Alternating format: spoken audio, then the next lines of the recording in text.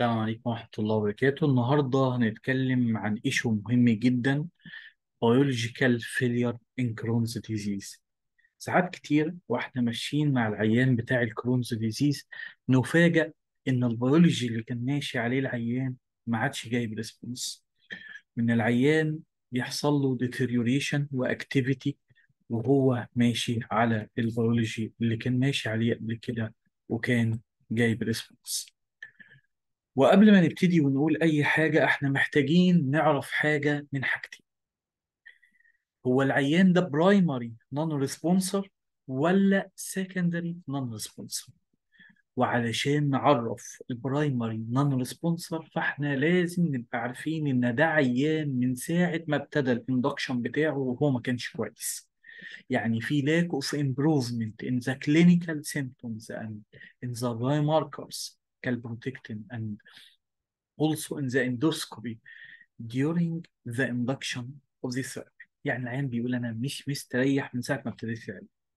ال current guidelines recommend the evaluation of the response every 2 to 4 weeks after starting the biology والناس كلها تعرف ان الريميكيد من اسرع الادويه اللي بيجيب response within 1 week يبتدي العيان يتحسن بعد ما ياخده وأقلهم كمان ال tofa ال tofa ممكن بعد يومين من ابتداء ال oral therapy تلاقي العيان get clinical response فلو ال clinical response ده متأخر أو مش جاي أساسا فبنقول إن العيان ده primary non-response ليه بنقول عليه primary لأنه هو في ال induction ده بياخد أكبر جرع ممكن تتاخد من العقار اللي هو ال Remicade آه ال infliximab I mean أو ال adalimumab أو ال ustekinumab أو أي حاجة من باقي الأدوية زي ال golimumab والحاجات دي. فهو بياخد ال induction والجرعة الكبيرة دي ومش جايب response ده primary non-response طيب أمال مين اللي هو lack of response أو بيحصل له loss of response أو بيسموها secondary non-response ده عيان كان كويس جدا وهو بياخد ال induction وكان ماشي حلو جدا. وبعد كده loss of clinical improvement وكمان ال biomarkers وال biochemical بتاعه ابتدى يتلخبط وفجأة واحدة لقينا العيان anemic ولقينا الهيموجلوبين drop ابتدى يظهر ولقينا ال calprotectin ابتدى يرفع تاني ولقينا ال endoscopic severity of the disease ابتدت تظهر. ده secondary non-responder بعد ما كان جايب primary response وعايزين برضو نحفظ المعاني اللي ممكن نستخدمها أو نحتاج إن إحنا نستخدمها في ال IBD ففي حاجة منهم اسمها dose escalation ال escalation دي معناها to maximize the treatment chance of the success of the therapy. إنك تحاول تجيب آخر الدواء علشان تجيب منه أحسن recommended dose ممكن تقول للناس عليها إن ال dose دي جابت response قبل ما تحاول ت shift على another therapy وخلينا نقول عيان ابتدينا معاه moderate to severe Crohn's disease. وابتدى بال infliximab زي ما الناس بتبتدي سواء كان عنده perianal disease أو من البداية ابتدى بال cascade من بدايته وخد ال infliximab أو كان عنده peripheral arthralgia و arthritis و extraintestinal manifestation استوجبت إن هو ياخد ال adalimumab. فالعيان ده أو ده لو لقيت إن هو قبل ما يخلص ال induction بتاعه مفيش أي improvement موجودة معاه فده primary failure وفي حالة ال primary failure دي أنا عندي حل من حلين. مش هكمل تاني في ال anti-TNF اللي أنا ابتديته. أنا محتاج حاجة زي ال Entyvio أو ال vedolizumab أو ال ustekinumab اللي هو Stelara طيب لو العيان كان بادئ حلو وخد 0 2 6 والأمور كويسة أو 0 2 زي ما كنا بندي في ال adalimumab والأمور ماشية كويس والجرعة حلوة وفجأة واحدة all of a sudden لقينا العيان حصل فيه secondary failure. Clinical deterioration endoscopic deterioration biomarkers deterioration. فاحنا هنقول لنفسنا نقف كده ونقول what about the therapeutic أو ال drug monitoring بتاعه. ال ال ال إحنا عملنا ال trough level بتاع ال drugs ولا لا؟ وفي المرحلة دي لازم نعملها بصراحة علشان هنبني قواعد بناء على ال level بتاع ال drug. فعلى سبيل المثال لو أنا لقيت إن ال trough level بتاع ال drugs واطي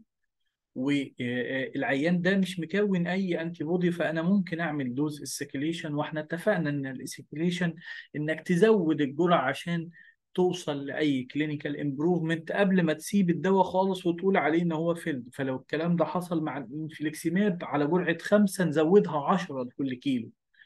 لو حصل مع ال adalimumab ممكن نزود برضو الجرعة علشان نعمل doubling حتى ليها علشان نوصل لل therapeutic level اللي إحنا هنتابعه تاني بعد ما العيان يرجع ياخد الجرعه الاكبر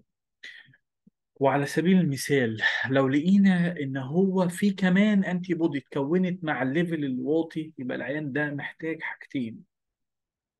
إن إحنا ن shift على دواء تاني وإن إحنا نزود ال immunomodulator للدواء. يعني لو العيان ده مثلا جاي بياخد infliximab وهو moderate to severe Crohn's وفجأة واحدة بعد ما كان جايب response كويس في خلال السنة اللي فاتت فوجئت إن العيان فيه secondary failure وعملت trough level فلقيته واطي ولقيت فيه antibody كمان متكونة against ال infliximab. فأنا محتاج حاجتين عشان وجود ال antibody دي محتاج إن أنا أضيف immunomodulator وعشان ال level كمان بتاع ال infliximab واطي فبدل ما مش هينفع إن أنا أضيف أو أعمل dose escalation لأن في antibody موجودة معايا فأنا هغير بس within the group in the class طيب لو أنا فوجئت إن العيان ده إن ال level بتاعه within normal وال level كويس وإن هو ما فيش أي antibodies متكونة أو anti-drug antibodies زي ما بيقولوا ففي الحالة دي العيان مش نافع فيه البيولوجي ومش هينفع فيه ال group اللي إحنا بنستخدمه. فاحنا محتاجين نغير على ال ustekinumab أو إن إحنا ندي ال vedolizumab وفي algorithm تاني علشان يشرح نفس الكلام ويسهلها في دماغ كل الناس اللي بتتعامل مع البيولوجي.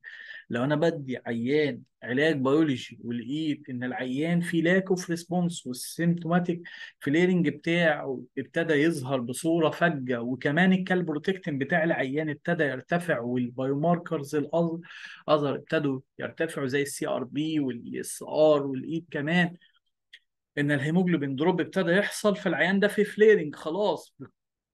يعني confirmed بكل المستويات clinical و biomarker وكمان endoscopy فإحنا محتاجين نراجع نفسنا ال therapeutic level بتاع ال drug إيه؟ لو لقينا ال therapeutic drug level كويس within normal فهنشوف بعديها على طول detectable anti-drug antibody أو undetectable لو لقيت detectable anti-drug antibody فده بيسموها mechanistic failure احفظوا معلش الكلمات والمصطلحات. mechanistic failure mechanistic we have to switch out of the class. لأنه آه ال level كان كويس لكن متكون أجسام مضادة. وبالتالي في بعض الناس تقول لك الأجسام المضادة المتكونة ممكن يبقى في cross reaction ففي بعض الناس تقول لك لا ده انت لو سمحت switch out of the class and consider immunosuppressant عشان ال antibody اللي اتكونت دي كمان. undetectable antibody وكان في ال therapeutic level بتاعه mechanistic failure برضه و switch out of the class